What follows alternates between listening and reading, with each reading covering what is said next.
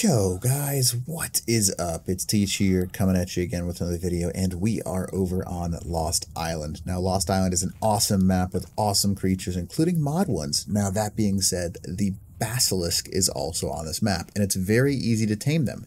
This video is going to show you where to find them as well as how to tame them ridiculously easy with only a few basic things. So where to find them? Let's start with that. So basically the basilisks seem to spawn on the northern side of the volcano area in this and literally just the upper right corner of the map.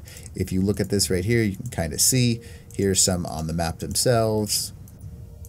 I'll show you all those spawn points.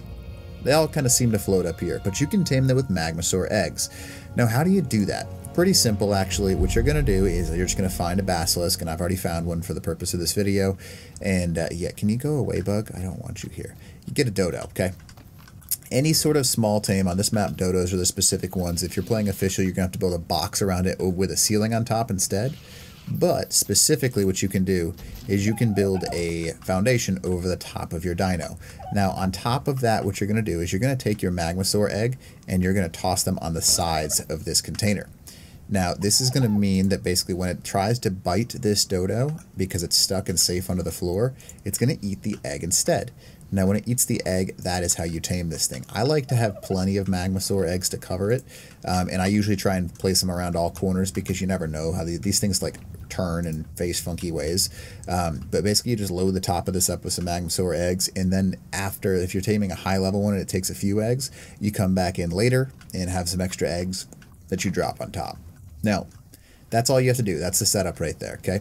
Now, I have uh, a air conditioners over there to keep these alive because these are like spawned in eggs. So egg level does not matter. All you have to do is get him to follow you and eat an egg. As long as it's a Magmasaur egg, you'll be just fine. You can see that this thing's a little pissy with me he's like, yo, I'm going to come follow you. Um, so you kind of just avoid him, wait for him to get nice and close. And it went where? There it is. It's like, chose to go back under the ground. Hey, hey, hey, where'd you go? There it is. Okay. What are you doing? Okay, cool. So anyways, you get it to follow you and once it's following you, you're going to basically drop it off on top of your dodo. So whatever you have to do in order to accomplish that is just fine. You basically just need to get him to attack that dodo. So see how he tried to smack the dodo there? So basically what you're going to do is we're going to kind of like aggro it around. I like using a flyer and just hop on the flyer and basically go straight up. So I'll mimic how I would do that in real life. Uh, basically you just go straight up like you see me doing right here. He will lose aggro on you and boom, he'll bite at that dodo and you'll insta tame him. Now, flyers work just fine. If you're fast enough, you can just run, like, I wouldn't put like a mountain behind like I did right there. You just run straight over the top of the dodo and don't turn back, and this thing will just follow you the entire way and become your tame.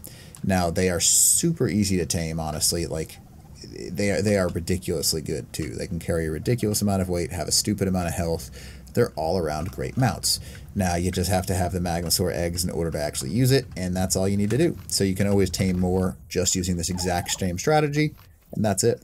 So anyways, hope for this video helps you out. Just a quick one. And uh, other than that, teach out.